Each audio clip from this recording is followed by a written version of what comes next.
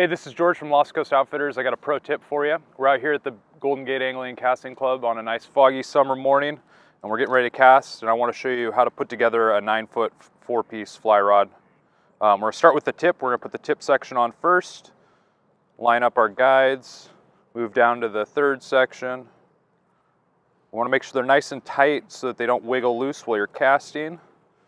And we're going to go to the fourth section. The reason why we do it this way is we end up with the rod handle in our hand ready to put on the reel.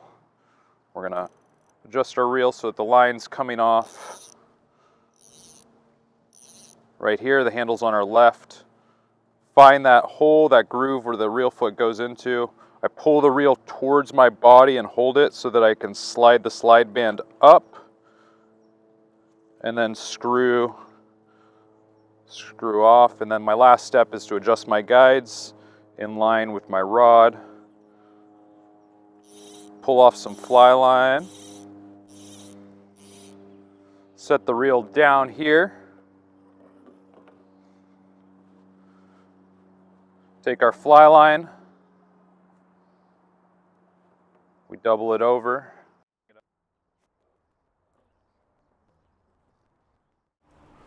Pull it all the way through. And that's how you rig up a four piece fly rod.